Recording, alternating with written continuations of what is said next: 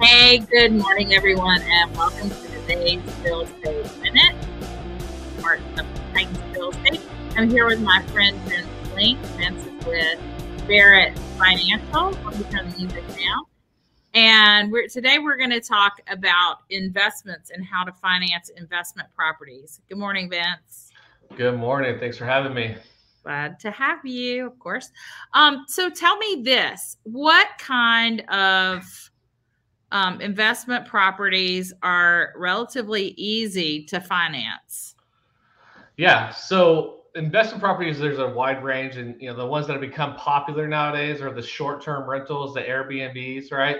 Those are the the the money makers, as what they call, because they're high uh, revenue income. But those are sometimes harder to qualify for than a traditional. Most investors start off with what is a single family or a multi-family unit type of investment home, right? That is going to cash flow them on a long-term lease for uh, rental.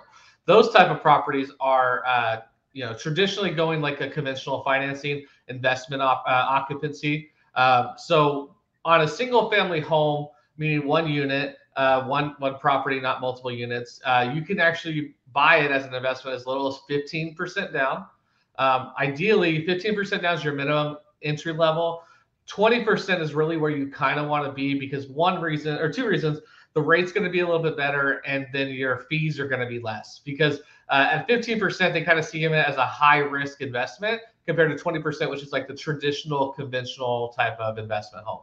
Um, you know investment properties uh, on a conventional product which is fannie and freddie uh, owned i mean they back the loan you could have 10 properties before you know you're technically ineligible for traditional financing. So once you finance 10 homes then the the next step would be as another investor would be two options. You could do like a seller finance which is where the seller carries the note and then you finance directly with the seller or which is a really great loan. It's called debt service covered ratio or dscr loans. Those loans are more portfolio meaning that it's bank by bank specific and there is really no limit of how many homes you have. Uh, you know, as as people, we all max out based off our debt to income for you know qualification. What's great about the DSCR loans or debt service cover ratio is meaning that your income doesn't matter, right? So you could have, you know, you can make a hundred grand, you can make 30 grand. Really, the what matters is that the property cash flows, meaning taking your mortgage payment and your rent, as long as it equates to a positive cash flow, and then it's based off your credit score and how much money you have to put into the deal right? So those loans you're going to want to see you know around the 20 to 25 percent is really where you want to be ideally. Um, but it, what's great about it is it doesn't matter about your income. So anybody can get started in investing homes. It's not where you have to make 100 grand 200 grand 300 grand to start investing. It's a great product to get people to you know leverage wealth in real estate people there are so many influencers on um, social media and youtube who have completely built a massive portfolio using the dscr loan. And i'm seeing that more and more um, folks want to know what the rent probability is on a property and so that's a little bit of work to figure out if it doesn't have a tenant in it if it goes from um, single family to a rental. Um, but it's all pretty quick and easy. So anyone can become an investor, right? Just about yeah. right? Absolutely. Yeah. There's no reason not to be an investor, especially as this market as it's changing. It's a great time to get with an agent that understands the the way you can build wealth in real estate, right? Which is owning properties. So that way you can leverage your your money and every month you're getting money, right? That's the goal. Is like where I want to be retired when money's just coming to me because I own properties so I can pass on to my children. But anybody can start. But I always recommend get with an agent that's going to get you with a great lender to kind of get you on that path to you know planning out how to invest. And uh, you know DSCRs are great. You can build a great portfolio. Uh, you know, go into the short-term rental game where you can build a lot of revenue. Uh, but you know, you want to make sure you partner with the right people up front because they're going to be able to steer you and make sure you you know you don't fail at the beginning and then you don't ever gain that traction to build your portfolio to build your wealth what are some good um, maybe apps or um, almost websites that people might be able to use to calculate um, a good investment versus a bad investment? Are there some of those? Do you know of any? So as far as like rental wise, there's a really good one. It's called Rentometer. Um, you can actually go in there, type in your. They give you like a free trial of like I think it's like up to like five properties. But you can go in there, type in the address, and then you can put what you you know based off the bedrooms, bathroom square footage, and then you can put what you want to you think it would rent for, and it will give you a gauge of like, oh, that's too high, that's too low, that's perfect, and then that way you can see what you potentially cash flow is. Now, I always recommend reaching out to a local agent so that way they can, you know, see the market, tell you what the activity is, maybe pull rental comps if it's available in their MLS. Uh, but anytime you buy an investment property, there's two ways to do it. You can have the appraiser, which will actually pull the comps in the area for the rental amount mm-hmm. and show you what that what that cash flow is. Or if you have an existing tenant, then you can base it off of that. Um, some banks are getting even better of using like the last 12 months of Airbnb income right? Because that income is so much higher, and those properties are usually a higher price because it's a cash flowing property. So some banks are allowing that 12 months of that last Airbnb income to use as your DSCR ratio to show the cash flow of the property. So, so again, you, okay. can use the DSCR with the the Airbnb. Yes. So there's certain properties, certain banks that will allow Airbnb income to be considered as rental income. If you're going to use it for that purpose, right? You want to make sure that you're stating your true occupancy that you're going to use it for within your, you know, to your lender, to your agent, so that way everything's done correctly. And if it is an existing Airbnb, you could use the data points that they already have. Yeah, that's great.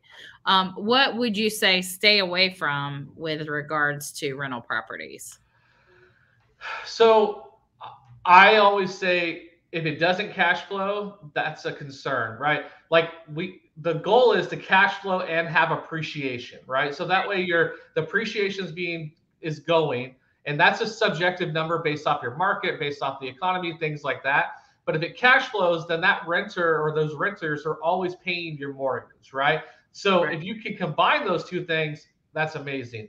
Now, if it doesn't cash flow and you're banking on appreciation, that's where people get into some trouble because appreciation is, I mean, the last couple years have been through the roof, but that's not always the case. And, and, and, it's market by market. And so you don't want to just bank on appreciation like oh this is going to be a good investment in five years but you're you're losing $300 a month right? You right. want to make sure you're putting yourself in a good financial cash flow situation up front and then appreciation is just a bonus that you're going to be able to uh, get because you're a homeowner you're an investor. So that's all, what i always say stay away from well positive cash flow is everything right? And absolutely. making sure that you have enough of a buffer and you know 10% or whatever it is to make sure on top of uh, of that you can handle any re- repairs that are going to happen in the future and that um, you're, you're, making a smart and sound investment. We have to look at every factor when we sell investment properties, and that's one of them. So that folks can put their spreadsheet together and do their financials on the property to make sure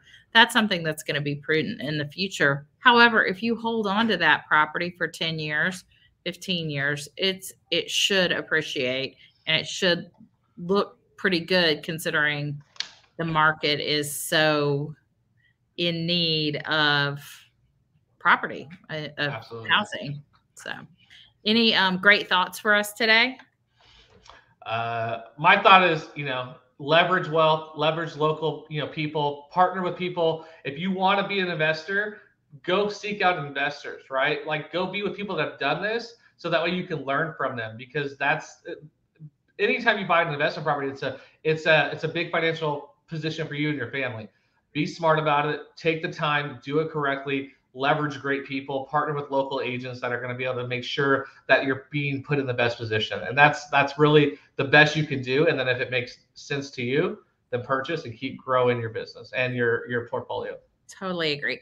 And there are so many great Facebook groups of local investors and statewide investors, national investors.